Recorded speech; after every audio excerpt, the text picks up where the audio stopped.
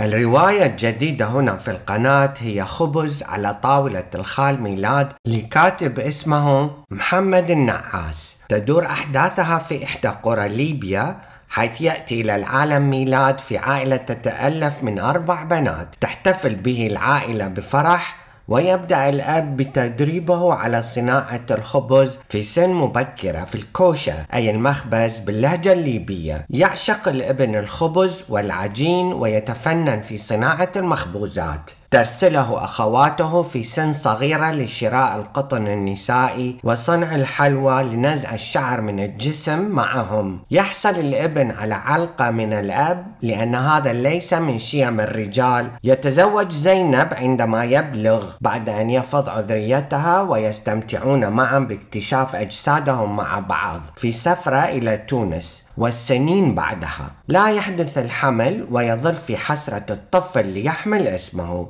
تتغير حياة ميلاد تماما عندما يكتشف أن زوجته زينب على علاقة مع مديرها في العمل. يصيبه هذا بصدمة كبيرة يتهم أيضا شقيقته العانس صالحة بكونها السبب في فتور علاقتهما عبر وضع الحجاب في قميصه بهدف تفريقهما. يبدأ ميلاد نفسه بخيانة زوجته مع صديقتها. لنصل إلى النهاية الدرامية بعد سلسلة من الأحداث الغير متوقعة. وهنا يأتي السؤال. هل تعتقدون إنها رواية بسيطة؟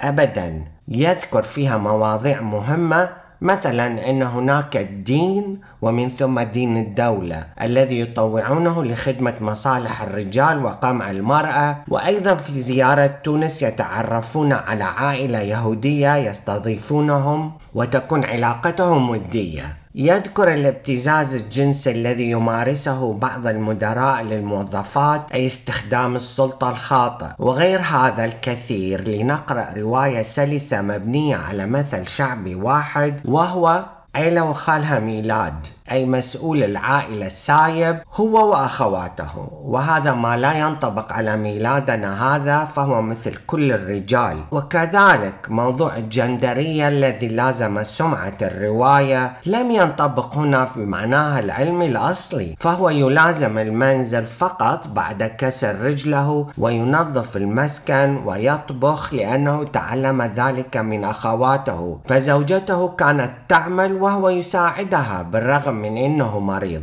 وهذا قمة في الرجولة لأنه يعمل. وهذا من شيم الرجال. رواية جديدة هي من كل النواحي. ممتعة مبنية على موضوع واحد تتفرع منه تفاصيل حياتية أخرى. أزعم أنها موجودة في كل بيت عربي. فيها الكثير من الجنس بطريقة محترمة. وشد جنسي ممتع فيسمي جسد المرأة باللذيذ كالخبز. والعجينة خدوجة. على اسم أول امرأة مارست جنس معها. تفوح من صفحات الرواية رائحة الخبز الطازج. أدعوكم للاستمتاع بها والاشتراك في القناة. إن لم تكونوا قد عملتم ذلك إلى حد الآن. من فضلكم علقوا على الفيديو.